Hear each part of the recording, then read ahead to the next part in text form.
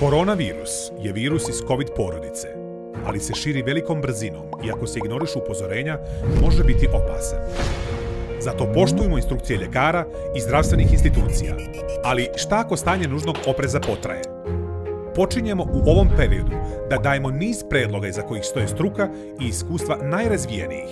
Suštinski je važno donijeti zakone, pravilnike, uredbe i druge pravne akte kako bismo povećali sjetvu i sadnju poljoprivrednih kultura. U vremenu krize domaća proizvodnja je od ogromnog značaja. Uvozimo preko milion eura hrane dnevno. Da bismo na vrijeme djelovali u slučaju produžene krize, moramo imati povećanu poljoprivrednu proizvodnju. To znači preusmjeravanje budžetskih neracionalnosti ka dodatnim subvencijama za poljoprivrednike.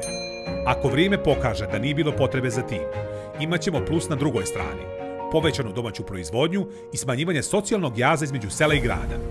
Ako pak kriza potraje, ove mjere mogu biti spasonosne za cijelu populaciju. Jer čak i da svi zatvore granice, mi bismo imali mnogo više domaćih proizvoda nego sada. Tako iz krize možemo izaći jači. Ubrzo nudimo ideje i mjere za druge oblasti. Želimo na taj način pomoći onima koji upravljaju institucijama kada je kriza. Ocjene ostavljamo za kasnije. Predložimo mjere kada je teško, jer samo to je put ka opštem dobru.